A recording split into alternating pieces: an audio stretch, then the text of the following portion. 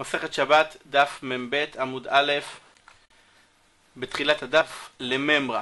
הגמרא בדף הקודם, דף מ"א, הביאה מחלוקת בין רב לשמואל, אם מותר למלות מים קרים בתוך מחם שהיה חם, חם של מים, שפינו ממנו את המים החמים, כרגע הוא עדיין רותח, הברזל רותח, ממלאים מים קרים, על מנת שהמים הקרים קצת יתחממו, הם לא מגיעים לחום שהיה צוללת שנקרא בישול, הם נהיים פושרים כאלה. רב אמר אסור לעשות את זה, למה? כי אתה מצרף את הכלי, אתה מקרר את הכלי וזה נקרא צירוף, זה נקרא מתקן כלי. שמואל אמר, מכיוון שאני לא מתכוון לצרף את הכלי, אלא בסך הכל לחמם את המים מעט בצורה המותרת, לכן זה מותר. שהמחלוקת שלהם תלויה במחלוקת בין רבי יהודה לרבי שמעון אם דבר שלא מתכוון מותר או אסור. רב סובר כמו רבי יהודה, דבר שלא מתכוון אסור, לכן אפילו שאתה לא מתכוון לצרף את הכלי זה אסור, ושמואל סובר כרבי שמעון, דבר שלא מתכוון מותר. שואלת הגמרא, לממרא דשמואל כרבי שמעון סביר עליה? אז מה אתה רוצה לומר לי? ששמואל סובר כרבי שמעון, דבר שלא מתכוון מותר? והא, אמר שמואל, הרי שמואל אמר, מכבין גחלת של מתכת ברשות הרבים. אדם הולך ברשות הרבים בשבת ורואה גחלת של מתכת, זאת אומרת, חתיכת מתכת בוערת, נפח למשל, שמתעסק עם ברזל, הוא חימם, התיך, לא ממש התיך אותו לנוזל, אבל חימם מאוד מאוד ברזל כדי לעבוד איתו, לכופף אותו, לעשות ממנו משהו, וזרק בחוץ חתיכת ברזל בוערת. האדם הזה הולך בשבת, נאמר קצת אחרי כניסת שבת, והוא רואה את החתיכת ברזל הזאת ברשות הרבים במקום שאנשים יכולים להינזק ממנה. אומר שמואל, מותר לו לכבות את הגחלת הזאת, לקחת מים, לשפוך עליה, לכבות אותה.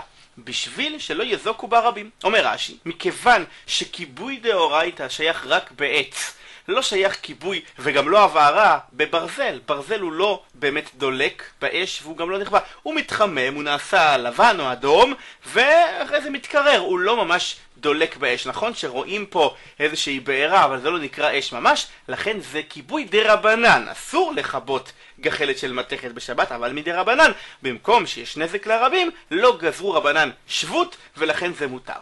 אבל לא גחלת של עץ. אם זו גחלת של עץ, אסור לכבות אותה. למה? זה איסור דאורייתא, איסור דאורייתא חייב עליו סקילה, זה ממש דאורייתא, אז אפילו לצורך נזק של רבים, אין מה לעשות, אי אפשר להתיר איסור דאורייתא. ככה אמר שמואל. בכל אופן, ואי סלקא דתך סבר לה כרבי שמעון.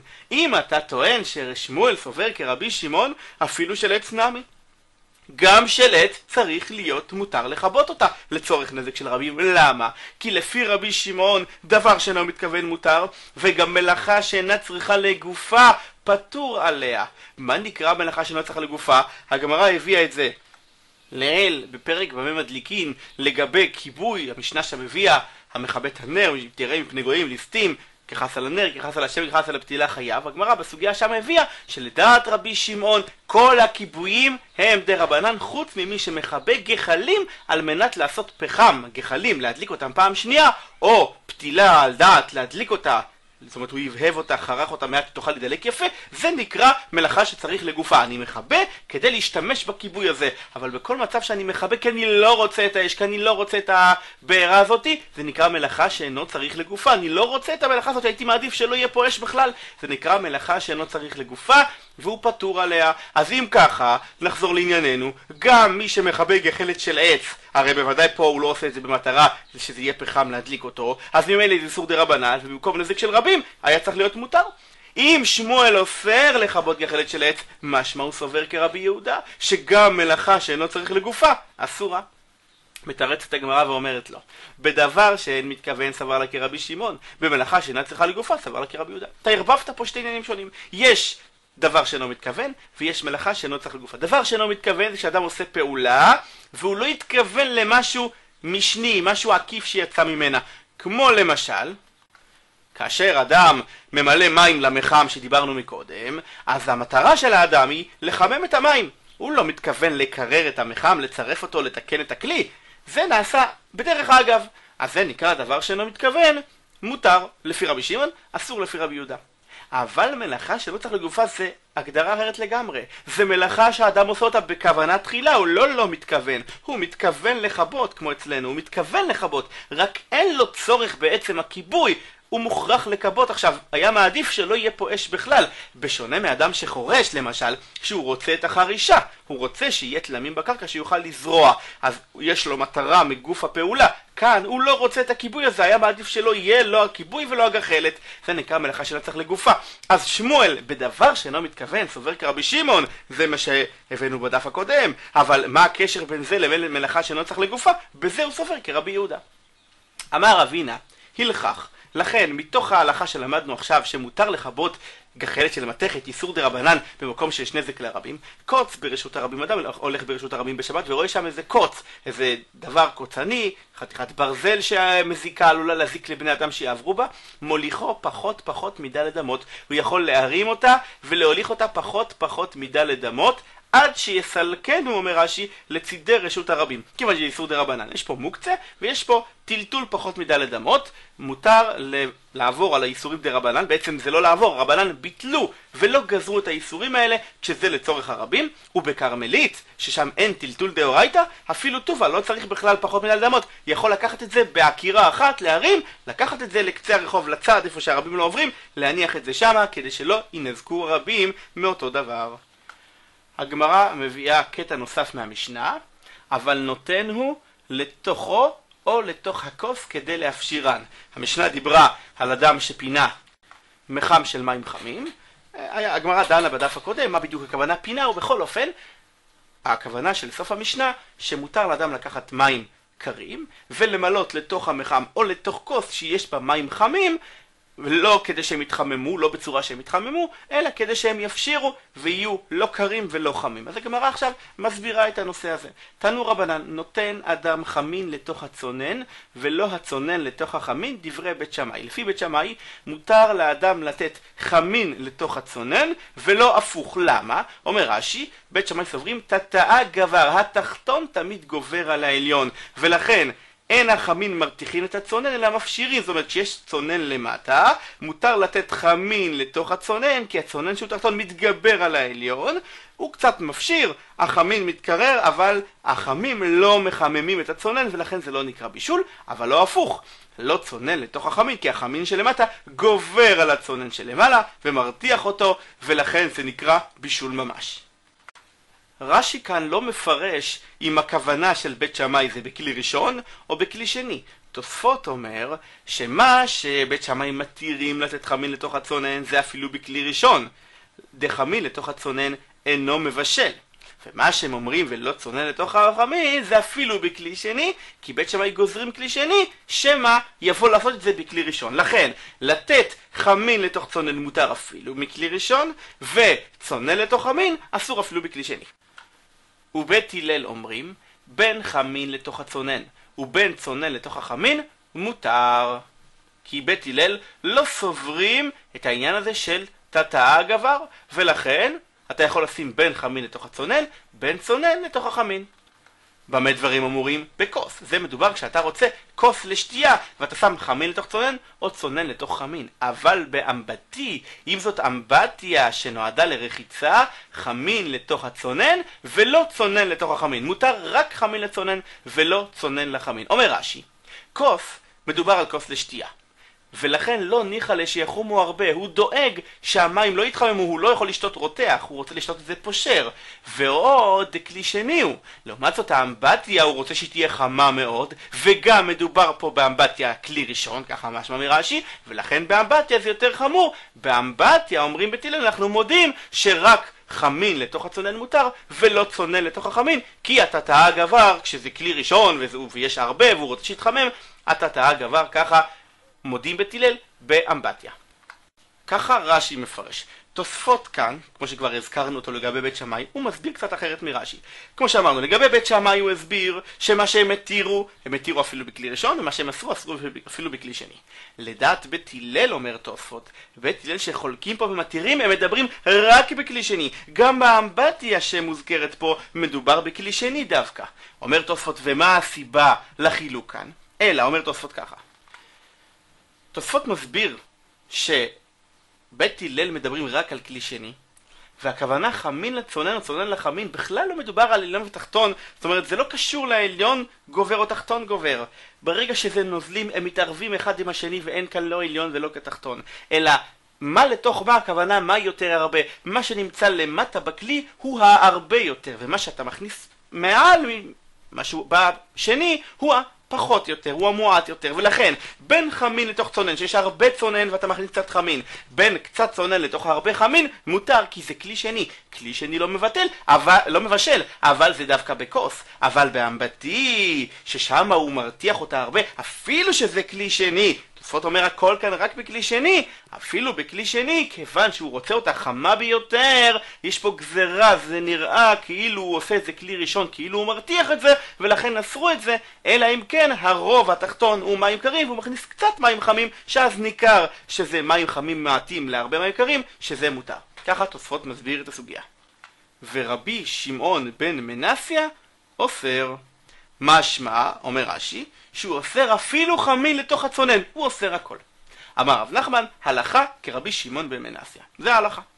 סבר רב יוסף למימר, ספל הרי הוא כאמבטי. ספל הכוונה קערה עם מים שמשתמשים בה לרחיצה. יש את האמבטיה שלתוכה נכנסים לרחוץ, ויש ספל כשרוצים להתקלח, בזמנם לא היה טוש כמו היום שיש שפופרת שמוציאה מים, היו לוקחים ספל, ממלאים אותו מים ושופכים על האדם השופך על עצמו את המים האלה.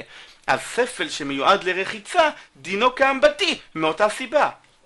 אומר רש"י, ואפילו שהוא כלי שני, יהיה אסור בספל. למה? כיוון שהוא לא מיועד לשתייה, אלא לרחיצה, האדם הזה רוצה שהוא יתחמם הרבה, וגוזרים שזה נראה כמבשל. אמר לאביי, לא, תנא רבי חייא ספל אינו כאמבטי, ומותר בספל להכניס בין חם לתוך צונן, בין צונן לתוך חמין, כמובן בכלי שני. שואלת הגמרא ולמאי דסליקא דעתא מעיקרא ולפי מה שעלה על דעתו בהתחלה לחשוב דספל הרי הוא כאמבטי ואמר רב נחמן הלכה כרבי שמעון בן והרי גם אמרנו מקודם שהלכה כרבי שמעון בן ככה אמר רב נחמן יוצא שאסור בכלל להכניס לא חם לצונן ולא צונן לחם אלא בשבת רחיצה בחמין לקה? אז מה, אין בשבת בכלל רחיצה בחמין? אין אפשרות? זאת אומרת, ודאי שלרחוץ את כל גופו בחמין אסור, זה למדנו בדפים הקודמים, מדין רחיצה שחכמים גזרו. אבל לרחוץ פניו, ידיו ורגליו בלבד, מותר לאדם. אבל הרי אדם לא יכול לרחוץ עם מים רותחים, הוא חייב לקרר את המים מעט. איך עושים את זה? על ידי שמכניסים מים קרים לחמים, או הפוך, לוקחים מים חמים, מכניסים למים קרים, ואז נהיה מים פושרים, ועם זה מתרחצים פניו, ידיו ורגליו. אבל עכשיו יוצא שאין מציאות כזאת, כי לא באמבטיה ולא בספל שמיועד לרחיצה, אסור לערב בכלל קרים וחמים. אז איך יש מציאות לרחוץ במים חמים, פניו, ידיו ורגליו בשבת, אם אין לי אפשרות להכין את המים, לערב אותם עם קרים? עונה הגמרא, מי סברת רבי שמעון הסיפא קאי?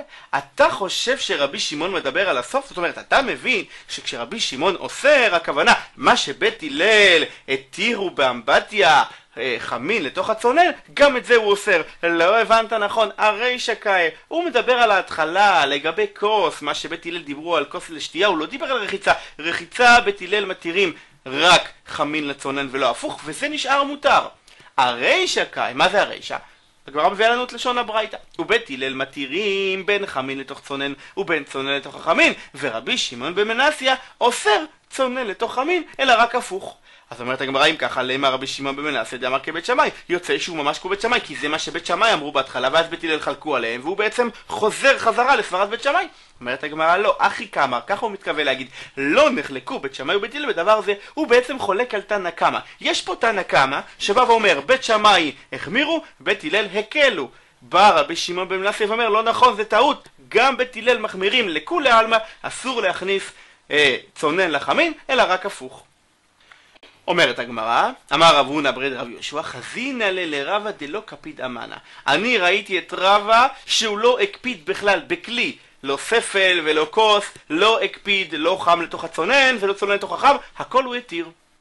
למה? מדתנא רבי חייא נותן אדם קיטון של מים, כלי, קיטון קטן שיש בתוכו מים, לתוך ספל של מים, ומה הכוונה פה? בין חמין לתוך צונן ובין צונן לתוך חמין. אז מהברייתא הזאת רבא למד שמותר בכל כלי בלי שום חילוק. אמר לרב הונא לרב אשי, אני לא מבין, דילמה שאני אטם דמיפסק לי. פה הברייתא שהבאת מדברת על לקחת קיטון של מים ולהכניס אותו, את כל הכלי, לתוך כלי אחר עם מים, למשל, את המים הקרים לתוך החמים, או הפוך. מדובר פה אבל על כלי לתוך כלי. כלי מלא מים לתוך כלי גדול מלא מים. לא מדובר לערב את שתי המימות, את המים אחד עם השני. אז זה מצב שונה לגמרי, כי אני מכניס כלי לתוך כלי, מפסק כלי. המים החיצוניים, נאמר לצורך הדוגמה, שהם החמים, לא מצליחים לחמם את הקרים שבתוך הכלי הפנימי כל כך, כי יש פה הפסק של כלי. אבל אולי אם אני מערב ממש מים במים, זה אסור.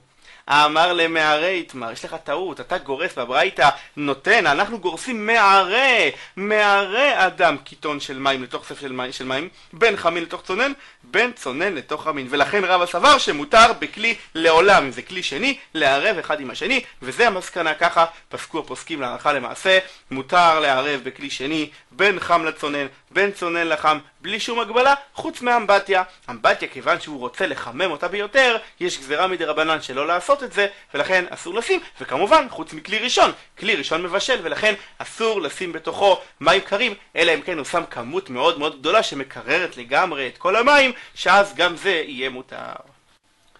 אומרת המשנה, האילפס והקדרה שהעבירן מרותחים. אילפס וקדרה זה שתי סוגים של סירים. יש שאומרים שאילפס זה מחבת, קדרה זה סיר. בכל אופן, שתי סוגים של כלים שמבשלים בהם. הוא בישל בערב שבת תבשילים לכבוד שבת, והעבירן מרותחין בין השמשות, זאת אומרת לפני כניסת שבת, לפני השקיעה, בהדלקת נרות, הוא העביר מעל האש את הסירים האלה כשהם רותחים, שם אותם על השיש לדוגמה. בשבת לא ייתן לתוכן תבלין, אסור לו להכניס לתוך אותם סירים תבלינים. למה? הוא עכשיו מבשל את התבלינים. כלי ראשון, זאת אומרת הכלי שהיה על האש ורתח על האש, אפילו כשהוא כבר לא על האש הוא עדיין מבשל. כל זמן שהוא רותח והיה צוללת בו, הוא מבשל, ולכן אסור להוסיף תבלינים לאותם סירים. אבל נותן הוא לתוך הקערה או לתוך התמחוי. אם הוא מעביר את האוכל מהסיר שבו הוא התבשל לקערה או לתמחוי, אומר רש"י, תמחוי זה קערות גדולות שלתוכם אפשר להערות את כל התוכן של הסיר שלם, את כולו, זה תמחוי זה קערה גדולה. קערות זה קערות קטנות, קערות הגשה שלוקחים אותם לשולחן. אז אם הוא העביר את תכולת הסיר לתמחוי או קערה, שזה סוגים של קערות, שעכשיו הם נקראים כלי שני, שמה אפשר להוסיף תבלינים. כלי שני אינו מבשל. רבי יהודה אומר, לכל הוא נותן, תמיד אפשר להוסיף תבלינים, חוץ מדבר שיש בו חומץ וציר. דבר שיש בו חומץ וציר, אסור.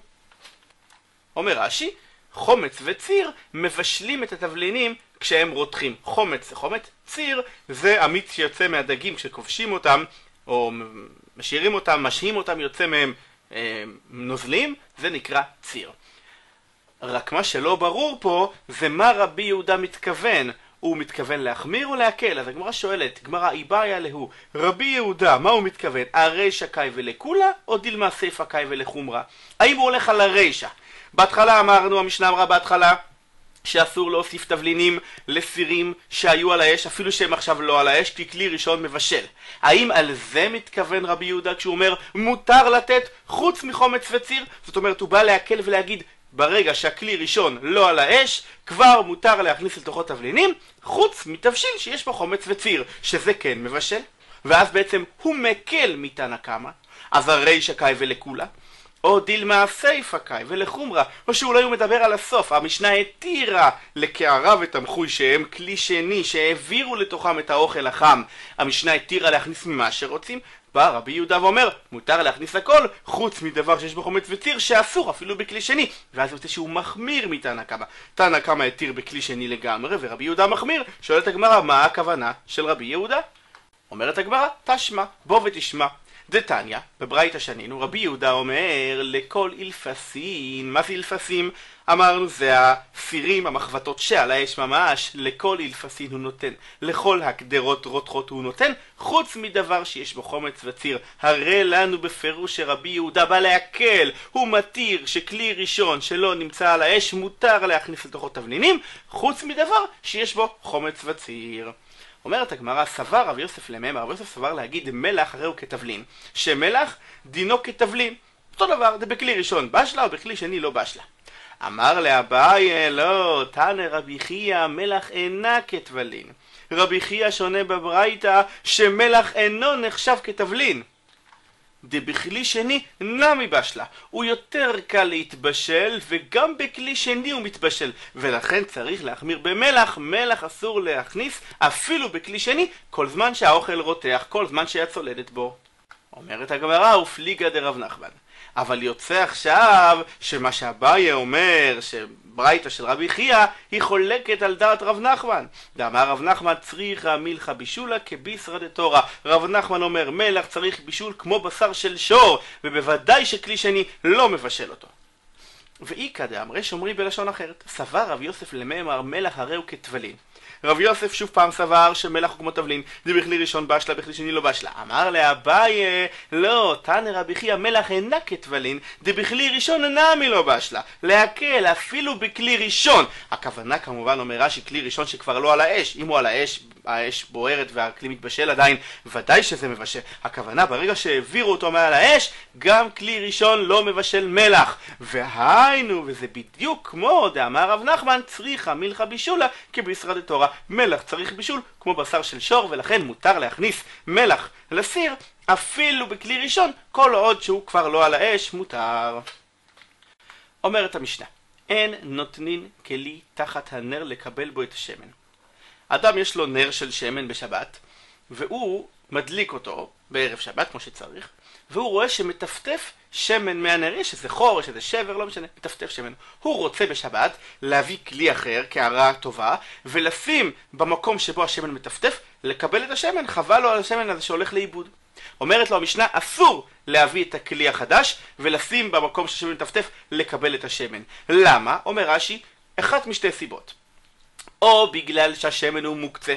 הרי שמן שנתנו אותו בנר להדלקה הוא מוקצה. למה הוא מוקצה? כיוון שאסור להשתמש בשמן שבנר, זה נקרא מכבה. אדם שמוציא שמן מנר דולק הוא מכבה דאורייתא בשבת. ממילא כל השמן הזה הוא מוקצה, הוא הוקצה רק להדלקה, אין מה להשתמש בו, וכיוון שהוא מוקצה, אסור לטלטל כלי בשבת. אלא לצורך דבר הניטל, רק אם זה בא להשתמש איתו לדבר שמותר בטלטול, אבל לצורך מוקצה אסור לטלטל כלי למרות שהכלי הוא לא מוקצה.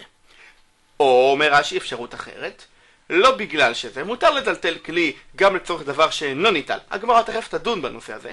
אלא מה שתנא, פה אוסר זה בגלל מבטל כלי מהיכנו. ברגע שאתה שם את הכלי הזה מתחת ויפול לתוכו, יטפטף לתוכו שמן, השמן הזה הוא מוקצה, אז בוודאי הכלי הזה יהפוך בעצמו למוקצה, הוא יהיה בסיס לדבר האסור, וזה נקרא מבטל כלי מהיכנו. האיסור הזה הוא מדי רבנן כיוון שזה כאילו שאתה בונה פה, אתה לקחת את הכלי וחיברת אותו עם טיט, עם ברגים, לאדמה או למה שמתחתיו, אתה יותר לא יכול להזיז אותו, זה כמו שאתה קבעת אותו למקום בשבת, זה נקרא כמו תיקון כלי, כמו מלאכה בשבת, ולכן חכמים אסרו לעשות את זה. ואם נתנוע מבעוד יום מותר, אבל מבעוד יום אתה רואה שהשמן מטפטף, תביא כלי, תשים מבעוד יום, זה מותר להשאיר אותו שם, אין בעיה. ואין נאותין ממנו לפי שאינו מן המוכן. כמובן שאסור להשתמש בשמן הזה שמטפטף לתוך הקערה השנייה בשבת, כיוון שהשמן הוא מוקצה. אמר רב חיסדא, אף על פי שאמרו אין נותנין כלי תחת תרנגולת לקבל ביצתה. יש תרנגולת שמטילה ביצה במקום מדרון, מקום באלכסון, הביצה תתגלגל ותישבר. הוא רואה את זה, הוא הולך מהר, רוצה להביא כלי, לשים מתחת לתרנגולת, שהיא תטיל את הביצה, היא תיפול לתוך הכלי ולא תתגלגל ולא תישבר. אז אומר רב חיסדא אפילו שאמרו שאסור לעשות את זה. אומר רש"י איפה אמרו? הוא לומד את זה מהמשנה. לשים כלי תחת תרנגולת לקבל ביצה זה כמו לשים כלי תחת הנר לקבל שמן, כמו שהתנא של המשנה אסר, גם זה אסור. אבל, אומר רב חיסדא, כופה עליה כלי שלא תישבר. כן, מותר משהו אחר. אם תרנגולת הטילה ביצה בהשפעה, במקום שאנשים הרבה עוברים שמה, ו... הוא חושש שהיא תישבר, שאנשים ידרכו עליה, אז הוא יכול ללכת, להביא כלי, לכפות על הביצה מלמעלה כדי שלא תישבר. זה שונה מהמקרה של המשנה, זה מקרה שמותר. אמר רבא, מה הייתה עמד רב חיסדא? מה הטעם של רב חיסדא? אני אסביר מה הסיבה שרב חיסדא ראה לנכון לחלק בין לקחת כלי, לשים מתחת תרנגולת שזהו אסר, לקבל את הביצה, לבין לקחת כלי ולכפות על ביצה שהוטלה במקום מסוכן, כדי שלא תישבר, שזהו מתיר. מה הוא ראה לנכון לחלק ביניהם? כסבר, הוא סובר ככה. תרנגולת עשויה להטיל ביצתה באשפה, ואינה עשויה להטיל ביצתה במקום מדרון. זה מצוי שתרנגולים מטילים ביצים בכל מיני מקומות. ואז לפעמים במקומות שאנשים עוברים, ילדים משחקים, עלולים להישבר, זה דבר מצוי. אבל בצד שני, תרנגולת יש לה שכל. במה שהיא מבינה בו, והיא לא מטילה ביצה במקום מדרון שתתגלגל ותישבר, זה דבר לא מצוי. והצלה מצויה, מצויה התירו, והצלה שאינה מצויה לא התירו. חכמים כשגזרו מוקצה אמרו, דבר שהוא מצוי מאוד ב... בידי בני אדם, שזה הדבר הצלה, שאנשים יש פה נזק ממוני, והוא דבר מצוי, זה אנחנו לא נאסור, לא נגזור, התירו. הצלה שאינה מצויה, דבר שלא מצוי, זה קורה חד פעמי פעם בהרבה זמן, את זה אמרו כמו כל המוקצה זה אסור, לא התירו. לכן, כיוון שביצה במקום השפעה או במקום שילדים משחקים זה דבר מצוי, אז לא אסרו לטלטל כלי לשים עליה. לעומת זאת, ביצה במדרון, דבר לא מצוי, אז את זה השאירו בגדר המוקצה הרגיל שאסור לטלטל את הכלי בשבילו. אז בעצם רב חיסדא לא כמו שבמשנה רש"י הביא שתי פירושים למה אסור לתת כלי תחת הנר. פירוש אחד, אין מטלטלים כלי לצורך דבר הניטל, פירוש שני, מבטל כלי מהיכנו. רב חיסדא הוא לא כמו הפיר, הפירוש הזה ממש ולא כמו הפירוש הזה ממש, הוא פירוש באמצע. הוא חושש לאיסור מוקצה שאסור לטלטל כלי אלא רק לצורך דבר שהוא לא מוקצה, אבל דבר מוקצה אסור, אבל גם זה רק בתנאי שזה הצלה לא מצויה. אם זה הצלה מצויה, התירו. הייתי ואביי. הקשה אביי על רבא, אתה מסביר את רב חיסדא ככה, אני אביא עליך קושייה.